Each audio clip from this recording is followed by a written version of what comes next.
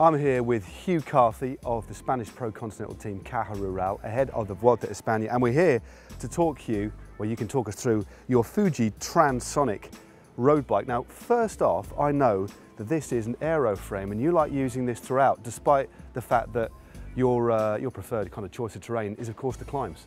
Yeah, I found that this, this frame set itself doesn't weigh too much more than the climbing frame set. And for myself as a taller rider, the geometry of this bike and uh, the way it handles, I feel, I feel you, you don't get that in some of the climbing, more specific climbing frames. I think this gives me, for a little bit of weight penalty, it gives me a lot more bike. Okay, so how much of a weight penalty are we talking about? Um, well, we weighed this a couple of days ago and uh, stripped down the bottles and Garmin, etc. Uh, it weighed 7.3 kilograms, which is for an aerodynamic bike in 56 that's uh, 56 centimetres, that's, that's, a pretty good weight I think. And most importantly, if it feels the way you want it to feel, that, that can be, be worth a few grams if it yeah, handles the way you want it to feel. You, the geometry and uh, the way it handles it gives you a lot of confidence and uh, makes you more comfortable when you spend it. I mean, talk us, through, talk us through a little bit about the componentry. Clearly we've got Shimano Dura-Ace Di2 drivetrain on here, but we've got a couple of quite different features. So what about the brakes that you've got on this particular bike? Uh, one of our sponsors is TRP. They make they make obviously the brakes, uh, so we use those. They're, they're very good. The, on this on this particular friend, the direct mount brakes. Okay. Other than that, away from Shimano, we use uh, KMC chains uh, and a nice gold. They won't go for very long, uh, okay. but no, the nice gold KMC chains. They're very light and uh, reliable. I can see now. I must admit, these uh, I've not familiar with these pedals. What actually, are these pedals? Xpedo. These, this particular model used titanium, titanium axles, and uh, no, they're very, very light and uh, very, the springs are very stiff and keep feet locked in place. Okay, now I understand Fuji make the proprietary handlebars and stem and seat post as well.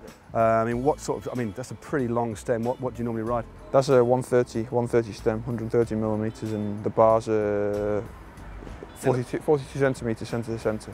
Yeah, the Reynolds wheels made for oval. So, uh, okay. oh, they're, they're, uh, these are like a mid-section 40 millimeters. They are. Uh, we only have this as an option, the 40 millimeter. We find that it gives us the best variety. We, for for a variety of stages, a variety of different races, this is the best option. Okay, so real uh, all-round utility yeah, it's, it's, wheel. it's an all-round wheel, and the profile of the wheel, it's it's not too wide, but it's not narrow like old-fashioned rims. It's it's a more somewhere in the middle, I guess. Okay, and what about tyre choice? I mean, these like the classic uh, Vittoria CXs on here. Yeah, these are the new Vittorias with the, the graphene, the graphene compound within them. They're supposed to be more puncture resistant and uh, roll roll a bit better, which I believe I believe they do. They, they feel like good tyres. And we, on the road bikes, we run 20, 25 millimeters, and on the town trial bikes, 23.